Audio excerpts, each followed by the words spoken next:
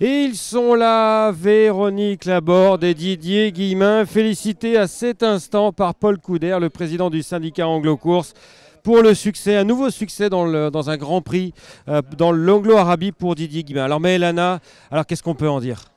Ben, qui est, toujours sur la montante. Voilà. Ben, elle avait déjà bien gagné en débutant à Mont-de-Marsan. Après, elle a eu un, petit vide et puis euh, bien re- recouru à Dax et là, elle a reconfirmé. Alors Didier Guillemin, l'entraîneur de Maëlana, le lauréat du Grand Prix des Pouliches à 12,5, c'est une souche euh, que vous connaissez depuis quoi 20 ans peut-être? Plus même? Ben, oui, tout à fait. La, la mère, c'est la sœur de Cherko. Voilà. La mère, j'ai eu, j'ai eu un entraînement avec des soucis de santé, les, les genoux pas très bien.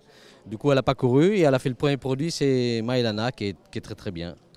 Alors, En deux mots, racontez-moi votre histoire avec Véronique Laborde. Ça fait des dizaines d'années que vous travaillez ensemble? Oui, ben déjà avec son père. Quand j'étais jockey, je montais, je montais déjà beaucoup pour son père. Jean Laborde Jean Laborde, voilà, on a eu quand même beaucoup de succès. Et puis là, c'est la continuité avec Véronique Laborde. Bravo. Merci Didier.